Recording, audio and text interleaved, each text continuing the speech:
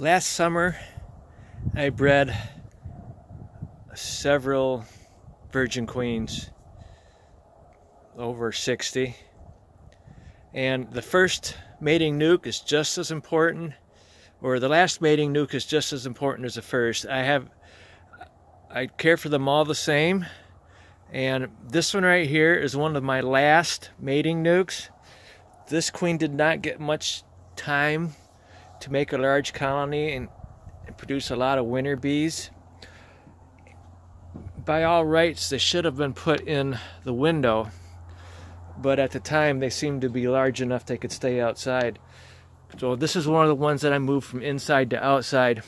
And I spent the last few days cleaning out the bottoms of my hives, the bottom screens. And now I have time to check. And it's in the 40s right now. I have time to go through and check and see how the small colonies are doing, see if I need to do anything. And this right here is an old frame that I got from 2016 when I bought some brood for some queens I had left over. And I've already scraped this. I scraped, this is mostly all drone. I've scraped that off with my hive tool and I don't want this in the hive. It's right next to the cluster. It's just not not a healthy situation. So what I'm doing is I made I made sure I knew where the queen was. I've already found the queen. I'll show you where she is. She could be on either one of these frames now, but when I checked, and you see how I'm careful and I give the bees time to get used to me touching them.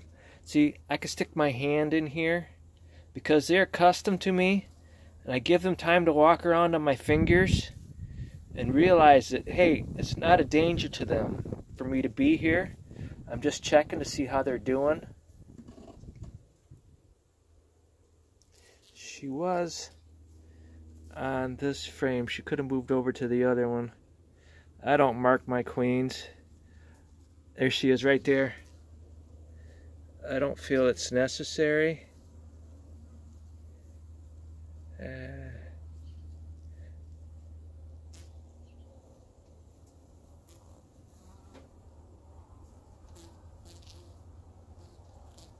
it's just she's right in there.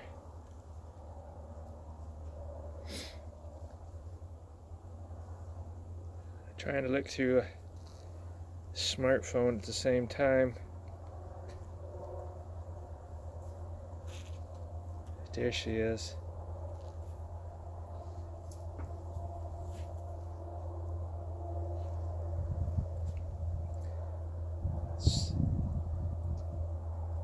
Breed your own queens. The quality is just outstanding. I don't get this quality from any other bee, queen bee that I buy from anybody. They're just, they're so much better and be gentle with them. Don't jerk them around, drop them in the, deep. Slide them together nice and easy. And what I'm going to do with this, I'm going to select the frame that I want next. I'm taking out that frame there and I'm selecting a nice open frame because in another month, six weeks, I'm going to be putting in some pollen patty, and I'm checking to see how much pollen this colony has. They don't have a lot, so I'm going to put in some pollen patty.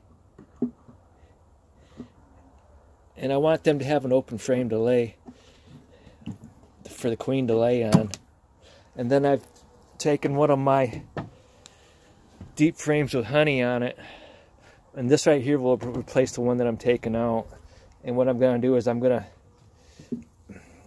it's too cold to let the bees fly around right now. I'm not sure all of them make it in there. What I'll do is I'll I'll do this. And then I will brush off the remaining the remaining bees into that deep. But anyway, I have a few more. Like here's another one of my last mating nucs. This right here, they killed their queen